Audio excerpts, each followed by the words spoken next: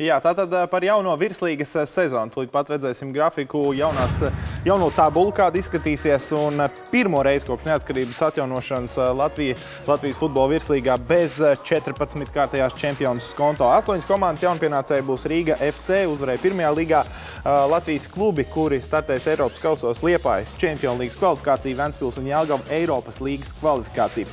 Un šeit mēs redzam arī video un fotografijas no dažādiem Latvijas futbola klubiem. Un, uh, mēs uzsitām pa plecu visiem klubiem, kuri ir ļoti aktīvi sociālajās uh, mediju platformās un liek dažādas fotografijas. Filmē klipiņus pirms jaunās sezonas, rāda, kā, kā, kā trenējas, kā tiekas dažādās uh, akcijās un tā tālāk. Nu, sagatavo līdzjutēju vai savus fanus šai jaunajai sezonai, bet mēs um, turpinājumā vēlējāmies ieskatīties nevis klubu padarītajā, bet virslīgas organizatoru padarītajā, jo Mēs, žurnālisti vidū, protams, mēs aktīvi sekojam, kas notiek virslīgā vai kā, bet parasts skatītājs regulāri varbūt neiet mājaslapā. Un mēs notestējam, kāda ir Latvijas virslīgas mājaslapa. Nu jā, mēs eh, principā pērsām uzmanību vienai lietai, un tas ir kalendārs. Šeit mēs labajā pusē mājaslapā redzam, kur pelītēji pasakojam līdzi. Tur ir tuvākās spēles redzams, eh, tūlīt pat arī iezīmēsim, eh, redzēsiet tādas tuvākās spēles, un apakšā ir iespējams arī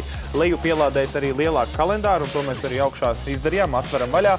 Un tas ir šādā PDF formātā, kādā jūs tūlīt redzēsiet. Principā vienkārši burti un cipari uz baltas lapas. Nu jā, pārskatām šis nav, un šis neatgādina neko no mūsu modernā laikmeta. Nu, PDF formā nav smuki, nav logo, un grūti pat uh, nedomājot par eh, sākuma sastāviem vai kā. Mēs redzam tikai būtībā izprintētu lapu. Lietuvā ir savādāk. Jā, mēs to, protams, gribējām salīdzināt nu, ar tuviem kaimiņiem. Lietuvas eh, virslīgas mājaslapa jau tur atverot, atverot pirmajā lapā ir tuvākās spēles, uz kuras var uzklikšķināt un apskatīties norises vietu. Uh, informācija, nu, protams, arī nepilnīgi par sastāviem, bet ir arī uh, izvērstāks kalendārs, un tur arī ir skaisti ar logotipiem un tā tālāk. Un to pašu mēs izdarījām arī Igaunijas eh, mājaslapā.